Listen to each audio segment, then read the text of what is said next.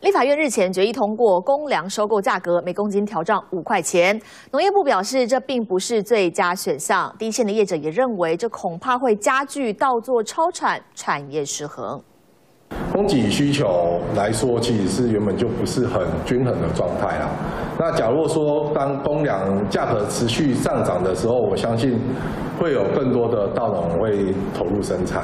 那未来公粮爆仓的状况，我相信还会再次的产生。对一般民众最直接的感受是，吃饭的价格提高了，在提高公粮收购价之后，未来我们到餐厅吃饭的时候，将会发现白米饭涨价了。